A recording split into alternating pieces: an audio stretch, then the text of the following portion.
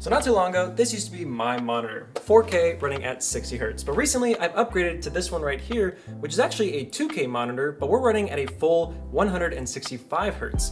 So today we're gonna talk about what direction you should take for your monitor upgrade. Resolution or refresh rate, what are the advantages and disadvantages, and objectively measured, which one should you go for? Let's go ahead and get into it. Now the big issue here is they're both roughly the same price.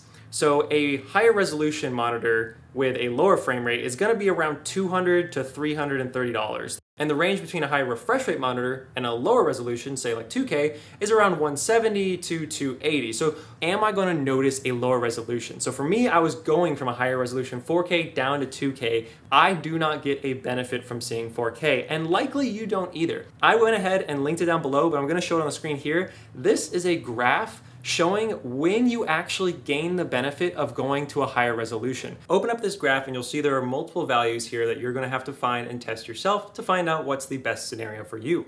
First, you're gonna need the size of your monitor. For me, that's 27 inches, and I think that's a pretty average size. Second thing you're gonna need to do is kind of get a tape measure of some sort or roughly estimate how far away your eyes are from the screen on your average gaming session or viewing distance or editing, whatever you end up doing on your computer the most, how far away are you typically from it? For me, I tested it and I'm anywhere from two and a half to three feet.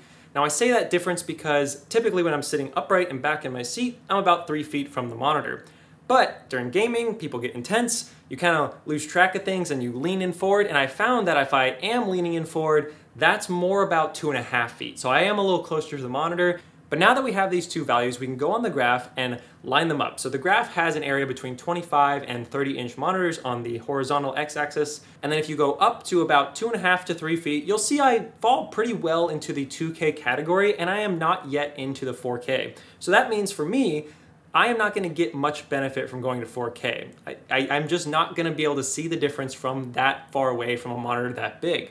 But as you see, if I move my x-axis over to a 30 inch monitor, so if I had upgraded my monitor to a larger monitor, so it's gonna be easier to see these pixels, if it is a 30 inch or higher monitor, I actually fall right into the 4K area now. As you get a larger monitor, it becomes more and more relevant to actually go to 4K. But I think for the majority of viewers here, an average monitor size for your setup is going to be more around mine, to where you're gonna fall kind of near that line of you barely gain the benefit of 4K. I would say if you are near or on the line between a 4K and a 2K monitor, I would say just save the money and go ahead and get a 2K monitor. Go ahead, use those numbers, plug them into the graph. If you have any problems, let me know, and that should be your solution. If you guys have any other questions or concerns, go ahead, as always, leave them in the comments below. I'll go ahead and help you out with any other questions you might have, or if you're still on the fence about which monitor to get. Check out my other videos if you haven't already, and get subscribed as always. See you guys in the next video.